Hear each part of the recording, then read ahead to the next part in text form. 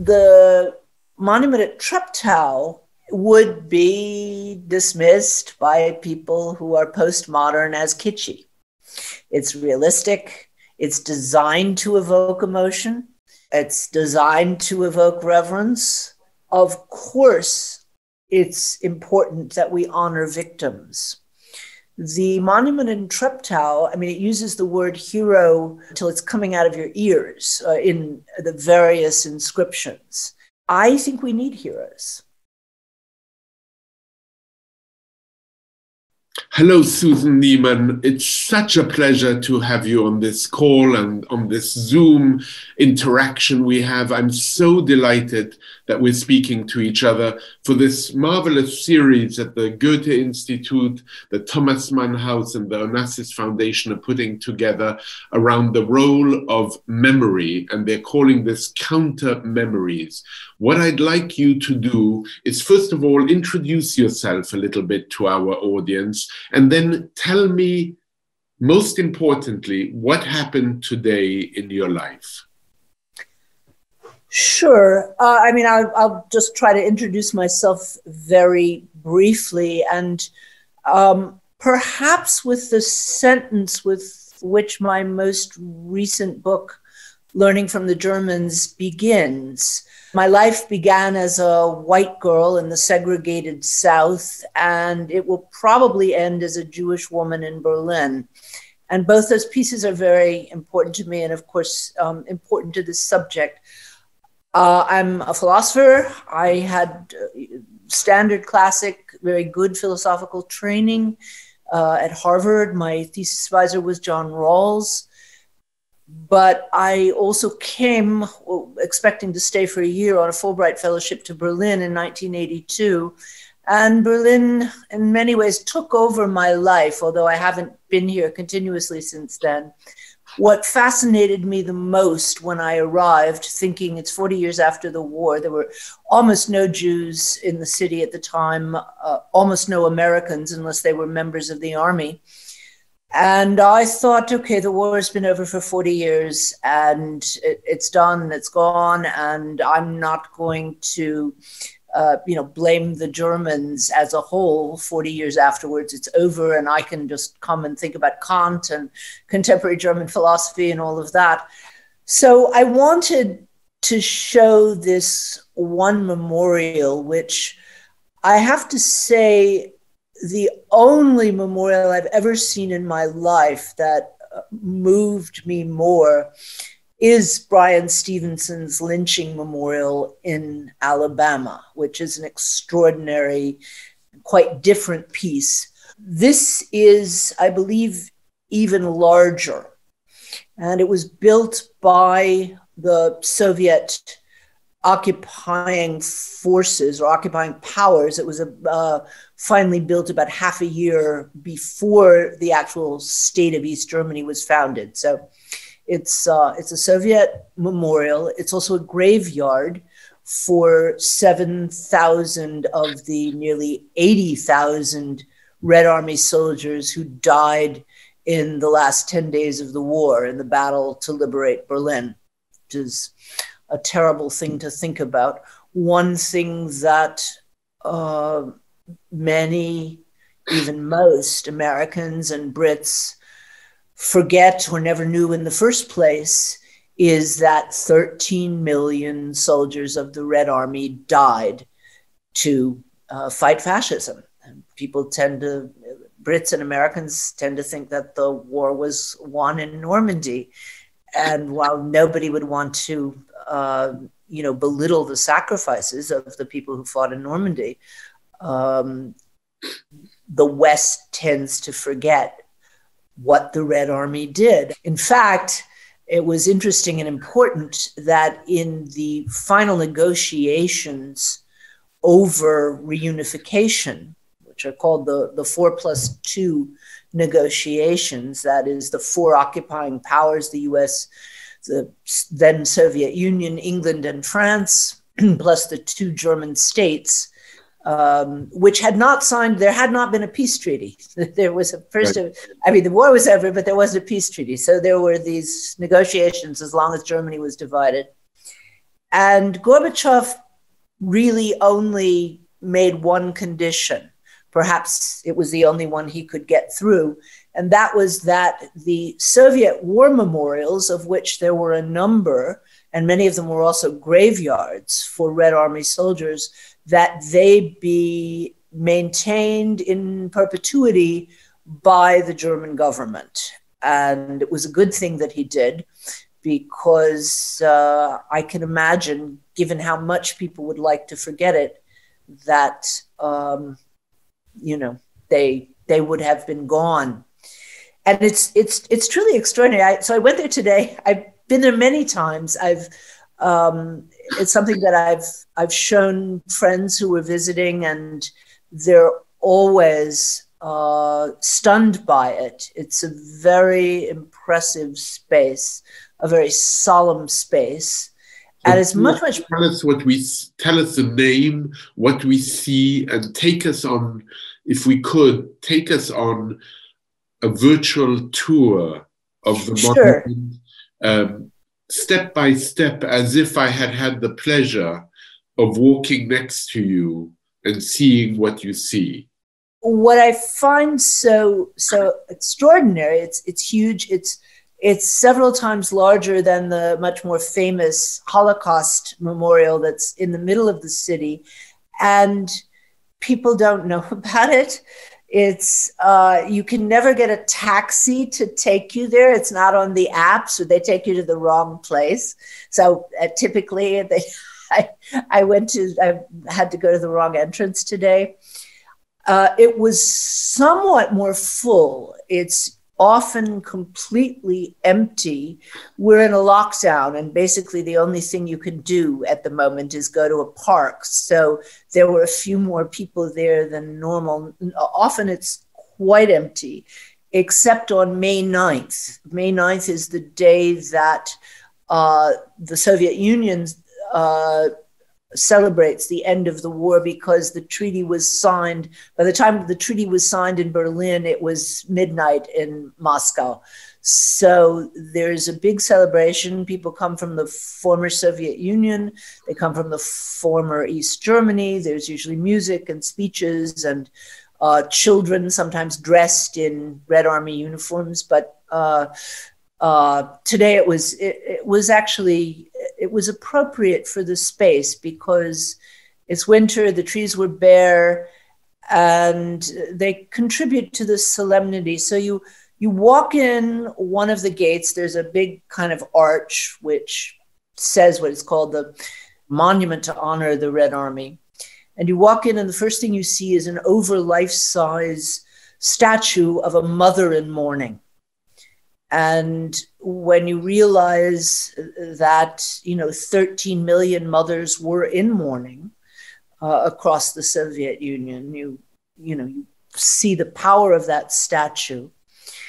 You walk then down a lane. On each side, there are rows of weeping birch trees that somehow, even with the bare branches, were even um, more powerful. And then you come to uh, another not quite a closed arch. There are two sort of sides of an arch that represent the Soviet flag. Uh, this says eternal glory to the soldiers of the Soviet army who gave their lives in, uh, in the fight for the liberation of humankind from fascist tyranny. The other side says it in Russian. And then there are two Red Army soldiers kneeling with their helmets off um, in mourning and honoring their fallen comrades. And then you go down a set of stairs, and there are graveyards. They're not marked, which is interesting. Uh, it doesn't say that those are graves. Someone has to tell you that they're graves, and they were mass graves. And actually, one of the practices that is happening in the last few years when people come on May 8th or May 9th is they'll bring a picture of a relative who fell in the battle for Berlin. Of course, they don't know exactly where he or she was buried. There were uh, women soldiers in the Red Army, by the way, and they're honored on these panels. Um, but people will bring, and sometimes you have children's drawings uh, along with a photograph and a name and a date of death, and people will put them on the edges of the monument uh, or of the place where the graves are to, you know, the idea being to give back a name to these people who fell, which I completely understand the, the point behind that. Identifying 80,000 bodies in the ruins of Berlin, where you had a starving population that you weren't sure you were going to be able to control, where you had an army that had marched back over the ruins of the villages that the Wehrmacht had destroyed, that is, you know, you have soldiers marching back and seeing their homes destroyed, their people murdered, um, a very brutal fight. I'm not sure that identifying all 80,000 people would actually have been possible, possible. frankly. Yeah.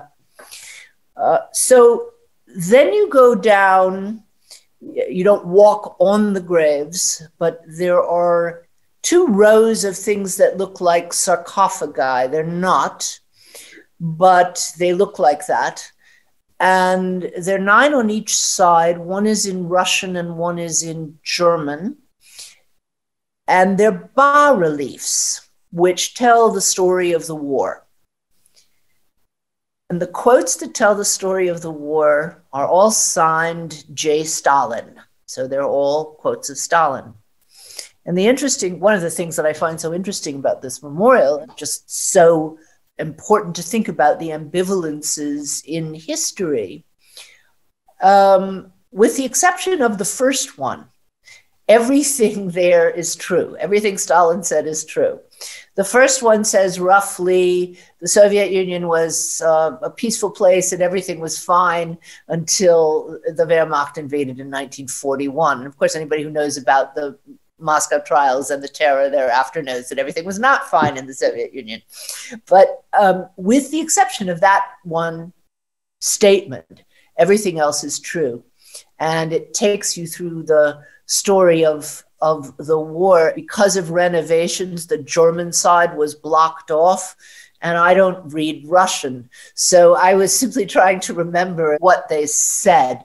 But it's very realistic bas relief of a kind that is meant to speak to uneducated as well as educated people. And it's, you know, it's it's fairly easy to read. One of the things I was noticing today is how many women uh, were displayed on those bas reliefs. Some somehow it's not something that occurred to me particularly before. Both women in arms, but also women doing other things for the war effort. Um, striking for a war memorial.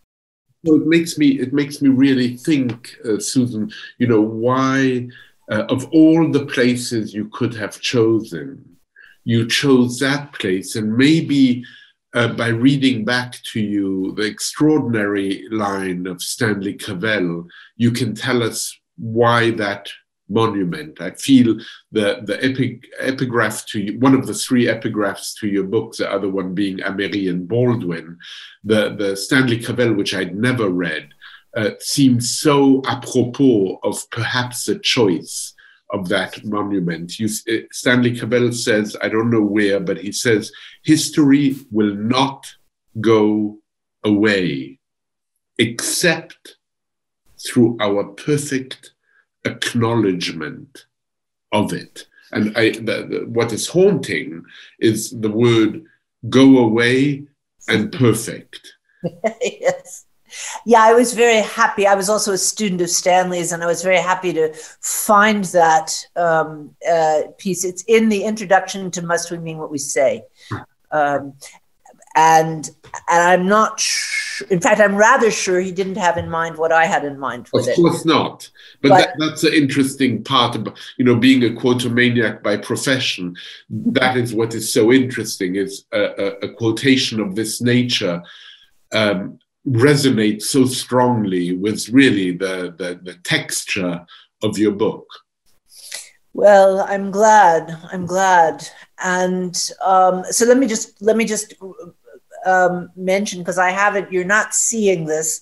So, what you don't know from my description is that um, all the while that you're going through this monument, which, which has been very carefully, one almost has to think of it as being choreographed, um, you know, not simply planned. I mean, there was, uh, there, as there usually is, there was a contest and 93 proposals were submitted and all of that. But, but it, more than being drawn, one almost feels that it was danced um, or, you know, planned to, planned for movement.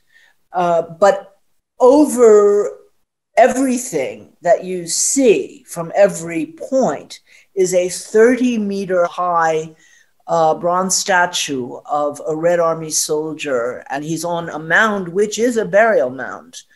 And this is based on a what, as far as anybody knows, is a true story. It's very idealistic, but it seems to be confirmed that a Red Army soldier, as he was fighting and marching through the you know ruins of Berlin in flames, saw a three-year-old child who had lost her parents and just picked her up and saved her. So you see this soldier on one arm, a little girl, and on the other hand, a sword that has just smashed a swastika. And it's extremely overwhelming. Um, I guess the reason why I picked this monument, I mean, there are a couple of other monuments in Berlin that I uh, that I like very much. I'm not a big fan of the Holocaust Memorial. Are you are you not a fan of the Holocaust Memorial because of the way it is being visited now? No, I didn't like it when it opened. Okay. I, I, thought it was too I, I thought it was too abstract. Yeah. And actually, if you want to think about the difference between the you know modern or the pre-modern and the postmodern, you compare these two monuments. Um, I, I, find the Holocaust Memorial, and I'm certainly not the only person who complained about it. It's why they put a history museum in the basement underground. It's so abstract that it's um, could be anything. Could be anything. And it never evoked in me any emotional reaction at all. And I was at the opening ceremony. So it was before people started using it as a Tinder background, which they do. It's kind of a trope on Tinder, uh, my son told me. Um, but the, so the, the monument at Treptow would be dismissed by people who are postmodern as kitschy. It's realistic, it's designed to evoke emotion. It's designed to evoke reverence. So, so there are two reasons why I chose it. One is that I, I just want some truth to be told. I cannot stand the reduction of Nazi ideology just to anti Semitism. And I say this as a Jew, but I'm a universalist Jew. And I view that anti Semitism is a form of racism and that racism, I mean, of course, it's different. I mean, you know, is anti Semitism different from racism towards blacks? Yes. Is it different from racism towards Asian people? I mean, racism has different forms and different histories, but it is the same, um, comes from the same root and I'm very insistent that that that that root be recognized and condemned, and that universalism be acknowledged. So that's part of it. Um, I am trying to um, trying to call out Cold War thinking. I think we're still stuck much more in Cold War paradigms than we realize. But the other thing that's so interesting about that monument, which appeals to me, it's very much a monument about heroism rather than about victims. I'm working on a book. Uh, my next, I think my next, or maybe my next but one book, is going to be about heroes and the difference between heroic paradigms and victim paradigms. And while of course, it's important that we honor victims. The monument in in Treptow, I mean, it uses the word hero, you know, till it's coming out of your ears uh, in the various inscriptions. I think we need heroes. We, we need heroes. Yeah, we need heroes. it's interesting way, because in preparing to talk with you, I came across this this line from Chomsky where he said, "We shouldn't be looking for heroes. We should be looking for good ideas." You know, whenever I tell people that I think we need heroes, somebody comes back with a counter quote. The favorite uh, one is from Brecht, who said, "Unlucky the land that needs heroes." You know, I it's okay. Um, I, I, understand. I, I, think we need new heroic paradigms. That, yeah. But but I I think we need heroes. And interestingly enough, it's something Bryan Stevenson told me as well when I interviewed him. And it's one of the things that his monument does so well because while it re I mean it gives you a sense of the horror of lynching, it also lifts up people who led the fights against racism and against terror. And you walk out of that memorial shaken, but with a sense of hope. And he said to me, uh, he said, you know, there are white people in the South who fought against lynching, and you don't know their names. And the fact that you don't know your, their names is important. So you know, while we're talking about monuments and we're talking about what needs to go, I think one of the more important questions is what needs to be put in their places when things go. And those are the discussions that I think communities need to be having because I think if people do not um, have examples of people who lived by the values that we want to honor, it's very hard to believe those values are real. That's the function that that heroes provide us with. And you know it's it's a it's not a uh, it's not it's a very untrendy thing to say at the moment which i suppose is one of the reasons why people tend to call the monument at treptow kitschy. Uh, it's it is not a modern sensibility to um, show with a certain amount of pathos heroic deeds and ask you to honor them but uh, I guess I'm anachronistic. Very interesting what you what you what you say about uh, victims and heroes, and someone who is very much in the background for me, um, listening to our conversation, as it were now, is Primo Levi, and he said something which has haunted me, Susan, for so long.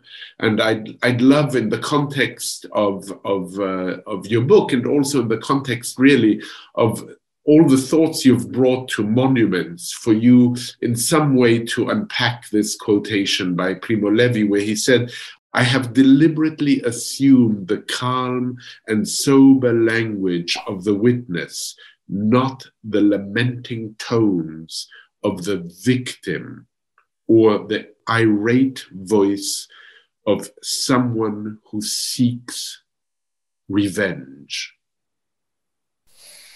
And I'm wondering how, how that plays out for you. Um, like it's nearly it's nearly a mot d'ordre. It's a certain way of looking both at the past and of, in some way, writing about it. So I, I, I always have problems with Primo Levi because, as I'm sure you know, he and Améry were sort of, um, I mean, they were in correspondence. And I always think Améry got the better of Levi, frankly. I thought he was deeper and you know in at the mind's limits i would i i found that book much more powerful than Levi's own witness. It certainly you know it described things it taught us things and um i you know it's very hard to even have the you know begin to have the chutzpah to criticize that kind of witnessing Um, but actually, I would argue, first of all, I mean, some anger is pretty pretty justified. You know, it sounds like he's trying to say, well, he doesn't want to be. Come on, come on, you were in Auschwitz, for heaven's sake.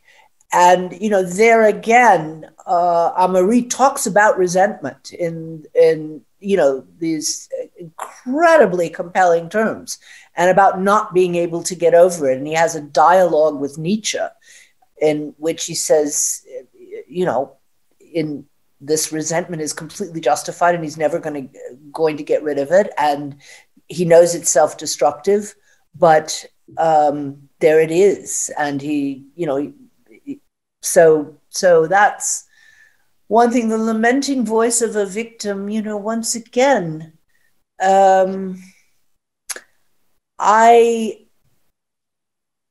i would not ever ever ever i think it would be you know more than a chutzpah it would be outrageous for anyone to suggest that someone who was directly a victim of fascist terror or you know in whatever form or who lost a loved one to fascist terror.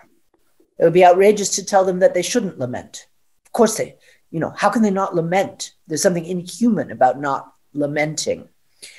Where i'm more uncomfortable with the notion of of victim is the way that it's become the kind of coin of recognition that people who were not directly impacted by um, by terror or violence that that is um, you know it's a again it's a it's just something that i'm working on right now so i haven't worked it out entirely no, no. but but you're trying to talk about how how the how the the idea of victim is used yeah. Really, yeah yeah. really used as a as a as a shield. That's right. A shield is good. And i might use that paul. But as i say i'm I, I, it, it, it's yours. If i do i'll cite you. it's yours. Uh, I'm, I'm i'm just trying to work out uh, what i think the right relation between heroes and victims ought to be. But I, I have to say that your your Levi quote strikes me as strange.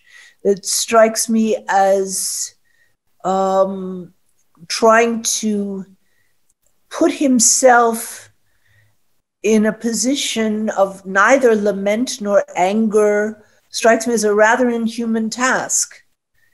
And I'm not sure why he decided course, he was a natural scientist. You well, I was say, about to say, I was about oh. to say, so he was nearly looking at it as if as if he was looking at through a, uh, uh, I mean, nearly like an like a scientific experiment. Right, and perhaps the, this is why I'm skeptical that natural science can tell us an awful lot about the human condition. There is um, there is another line that I want to read to you. I'm not sure the, the piece has yet been published, but perhaps it has.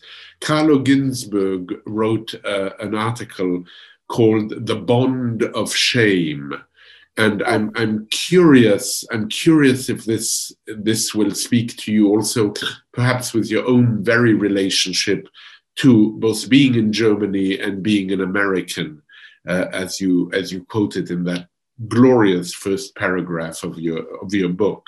Well, in the first paragraph of the Bond of Shame, Carlo Ginzburg writes the following.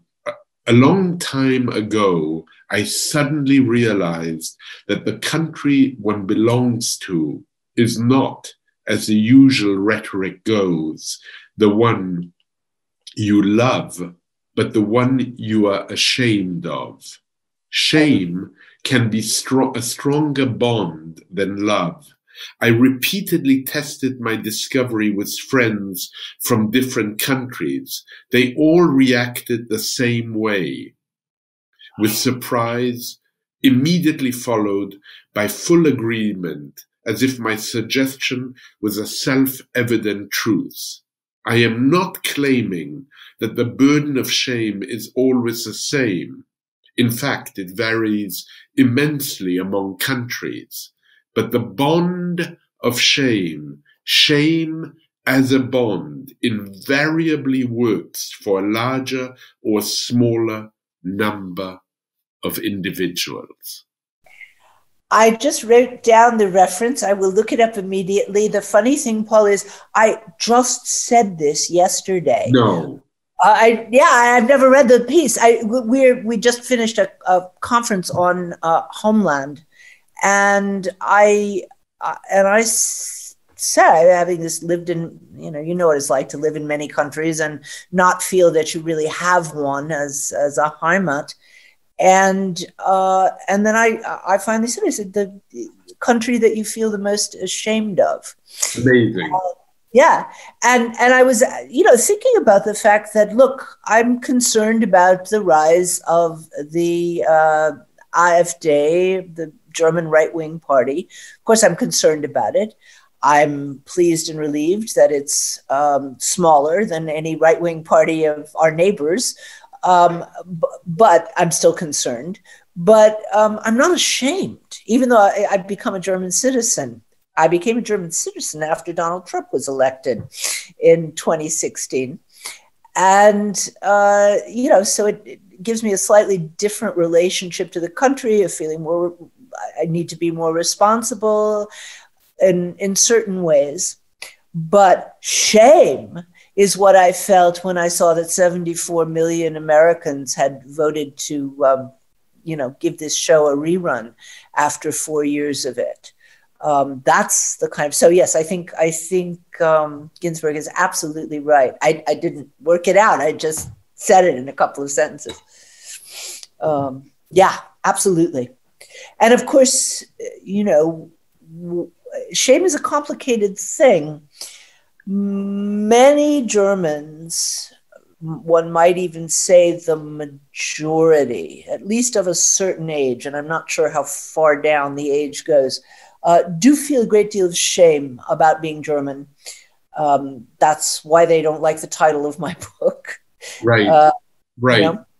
And of course, part of that is what's led to this reaction uh, with the AfD I mean, in fact, one of their leaders described the Holocaust monument by saying no other nation has ever planted a monument of shame in the heart of its capital.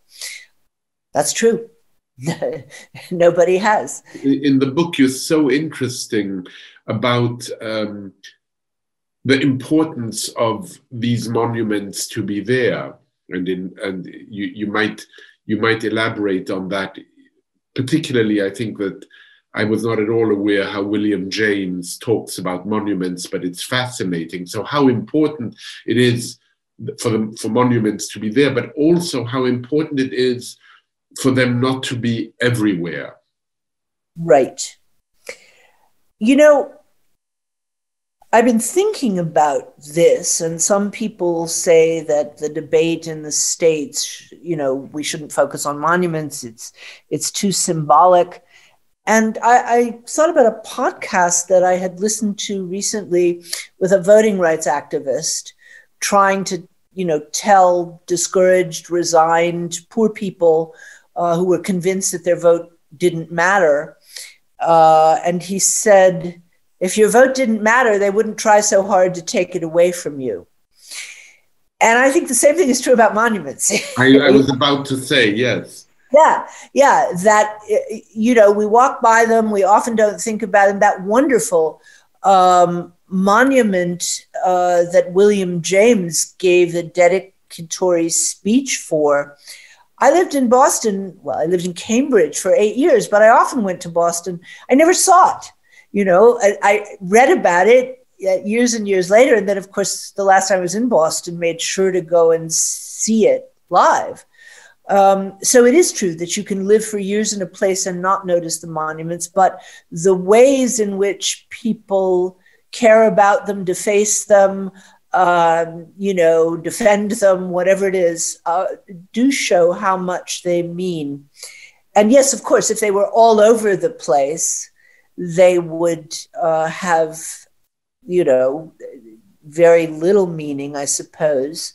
But I think one of the most important and successful monuments in Berlin have deliberately been all over the place. And those are the stumbling stones, the Stolpersteine. You've seen them, I suppose. Yes, I, they're tremendous.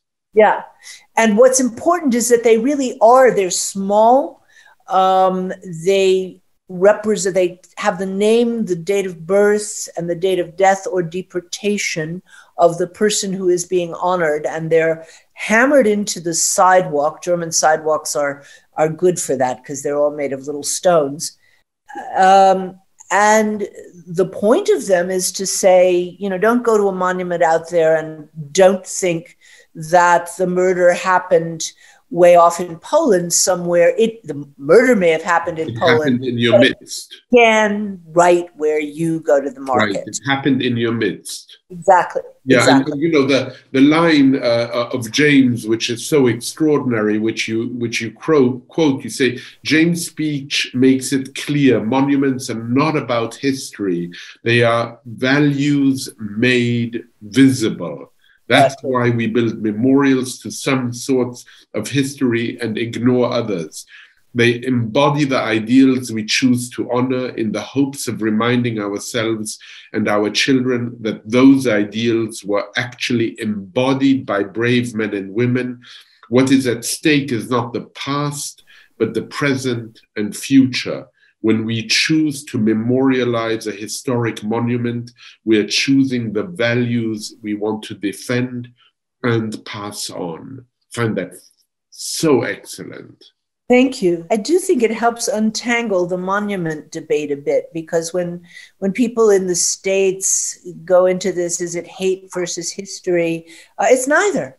It's right. about value, you know, and uh, you know that's what we need to focus on in the context of, of learning from the Germans, at this juncture, looking at what's happening with memorials in the US, what, what is the lesson that is still so unlearned in this country? Are you still? Well, first of all, that. I mean, just the fact that it's not about history per se. We don't build monuments to everything.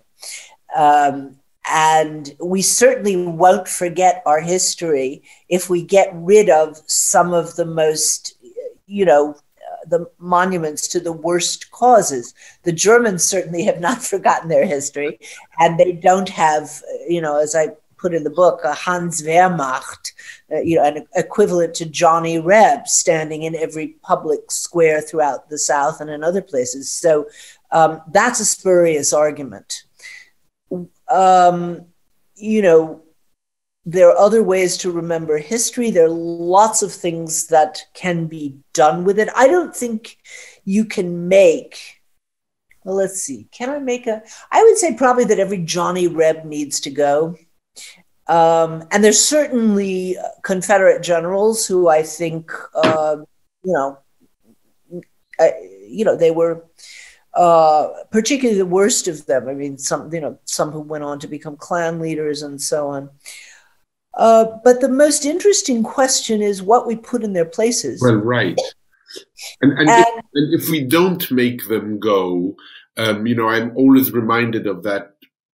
I think a w- wonderful line in David Lowenthal's book, uh, The Past is a Foreign Country, where he talks about the Elgin marbles and perhaps they won't be returned to, to Greece. But if they stay in the British Museum, they need to be surrounded with a context. We need to understand, we need to understand why they are there and why they have been plundered.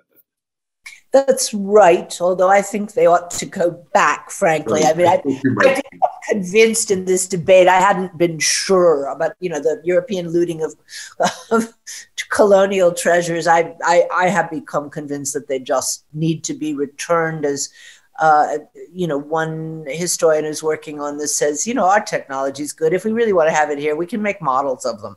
Um, you know, it's just if the original owners want them back, they should bloody well have them. Um, but I do think contextualization is a possibility in lots of cases. It's been a while since I was in Monticello, but when I was there, I thought they did a terrific job of, they were um, renovating, reconstructing cabins of enslaved people. And so you could take two tours one of Jefferson's glorious uh, mansion, which is really spectacular. And he, of course, designed it himself. And so you can see life from his perspective, but then you're also asked to see life from the perspective of the enslaved people um, who built all the wealth. And at least the tour that I was on did it very well. So, two so, narratives. Yeah, yeah, yeah. And, and it, you know, which is, uh, again, uh, I reject the current uh, reference to my truth, you know, or your truth. I think, you know, one can usually get pretty close to the truth if you combine different perspectives, you know. And if you simply listen to as many voices as you can, you'll get something like a coherent narrative of a whole. Um, but to go to go back to to because I feel like I might have interrupted a thought. You know, you when we were talking about monuments that perhaps need to go, you pointedly said, "But what will go in their place?" Right, right. And I think so. Here's my fantasy. I don't know that it will happen, although I gather there's some college communities where this is happening. What I'd love to see is a community by community discussion of monuments. That is, um, because monuments are particular to places as well. And it would it would do two things. One is it would actually allow people to learn the history. I grew up in the South. I did not know when those monuments were built. I just assumed, oh, yeah, right after the Civil War, people wanted to honor their dead. Uh uh-uh. uh you know, they were built at two particular times in which white supremacy was on the march in reaction to some gains of, uh, you know, two different phases of the civil rights movement. So um, I, I had to wait until 2015 to learn that and i'm you know there are lots of other things that people can learn about these monuments that they went by without thinking of them much. And then the second thing though is that there would be community discussion of what are our values? What values do we want our children and uh, grandchildren to you know think about to walk by when they're you know walking to the square or whatever? That would very much be my you know my hope. I think it's happening in some places. may happen incrementally in different places and then yeah. might serve as a as a way for other communities to deal with with those monuments and that history in in in closing susan um, Perhaps one, you know, just about that. I thought there were fascinating things going on in Britain um, with regard to the Colston Monument that got thrown into the harbor in Bristol. In Bristol, I read about that. Yeah, yeah, and there really were. I was on a number of panel discussions with British artists and museum directors, and people were really. There were a lot of creative ideas about what to put in its place. Or what some of the best ones you remember? Well, I liked Banksy's sketch. Banksy published a sketch just of the people pulling down the monument. He said that should go in its place. Someone else actually cast one of the uh, demonstrators live, an Afro British woman, and put her on the pedestal instead with her fist up. Uh, someone, I don't know if that's still there. I should check. Um, you know, it's obviously against the law to do all that, but it got done. But what, what, were, yeah, what there were other artists suggesting that you know we shouldn't even replace it with one single thing. Well, I was we, about to say that.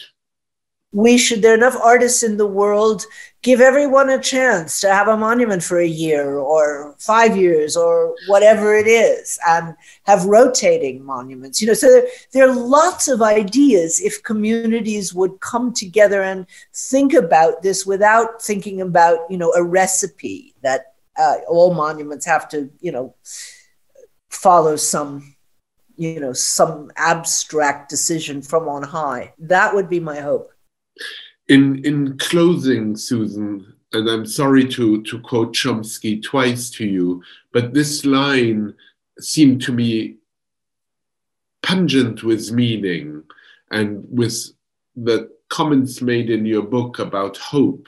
It seems to me an interesting way to end our conversation.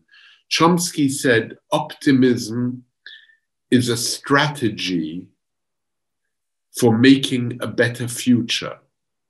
Because unless you believe the future can be better, you are unlikely to step up and take responsibility for making it so. I first of all, I've got nothing against Chomsky. I respect him very much. In fact, one of the benefits of Zoom is that we got to invite to the Einstein Forum people who we normally couldn't get to travel long distances. So I interviewed Chomsky in June for the Einstein Forum, and we talked exactly about that idea. Um, really? My only distinct difference with him is I wouldn't use the word optimism. I think optimism is a statement about the way the world is, is, and that's not something we can know about. I would rather use the word hope, but I agree with him entirely. And as I told him, that's actually a very Kantian argument. Kant makes that argument too. Well, I, I heard I heard that resonance too, and I was thinking that in in some way dealing dealing with the past thinking about what Chomsky just said and thinking about, you know, how can we actually make this generation understand as indeed your your very choice of of of, of monument here is make people understand what what the truth of that moment was. Absolutely. And take responsibility for it. Absolutely. And I, chomsky's absolutely right. We have two choices uh, if we become hopeless, we become resigned and cynical, and um, and the world really will go downhill. So there's just not much of a choice. We have, if we remain hopeful, we have a chance that the world won't go downhill. Susan, it's been a pleasure talking to you. After all, after all these years, thank you so much. I hope someday I can come back to Berlin and visit you again? I would love uh, love that, and um, you know, as I mentioned, with a daughter in Los Angeles, I look for reasons to go to Los Angeles whenever it's possible to travel again. So I'm sure we'll see each other. We, we, we will alight. I'm sure that we'll see each other with with uh, sooner than than we did the last yeah. time. Somewhere for sure. Thank you Absolutely. so much. Great pleasure. Okay. Bis bald. Bye bye.